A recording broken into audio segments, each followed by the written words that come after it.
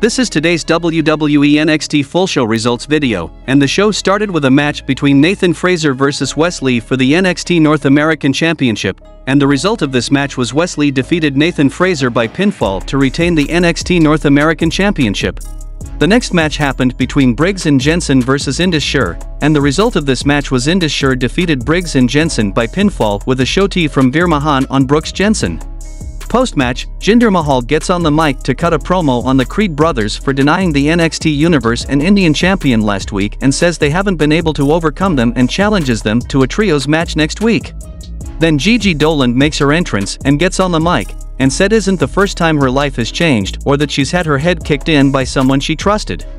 Gigi said Jayne knows that the last person Gigi let beat her down like that was her own mother, and when she ran away from home as a teenager she was trying to show her little brother that she could make it in WWE, and she's been knocked down time and time again and she gets back up every time. Bring everything you have at Roadblock because it won't be enough, and she'll hammer the final nail in the coffin of toxic attraction. Then we saw students of Chase U University talking to each other, and then Chase takes the podium and gets interrupted by a projector video by the schism running Chase U down and promising to leave the university in flames. Andre gets fired up about it and tells the schism he's gonna show his students the principles he stands for when he shows Joe Gacy and Andre Chase university-sized S whooping. Back from commercial, the Creed brothers are walking backstage discussing a potential unnamed tag partner, and we saw Bron Breakker asked Creeds to join them for next week against Indus Sher and Jinder Mahal, and Creed agreed.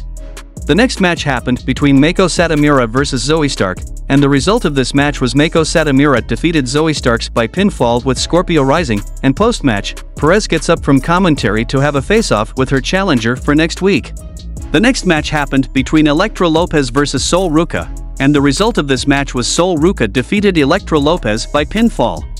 Post-match, we saw some heat between Valentina Feroz and Elektra Lopez, and Lopez pushed Valentina Feroz, and the Valentina Feroz knocks out Elektra Lopez with the knuckle duster. The next match happened between Katana Chance versus Tiffany Stratton, and the result of this match was Tiffany Stratton won the match by pinfall with a double jump moonsault.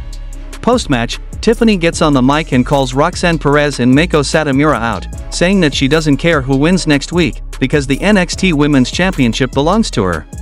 The next match happened between Axiom vs Hank Walker, and the result of this match was Axiom won the match by pinfall with the golden ratio. In the main event of the show, we saw a match between Carmelo Hayes vs Tyler Bate, and the result of this match was Carmelo Hayes defeated Tyler Bate by pinfall with the help of Trick Williams' interference, and the show goes off air.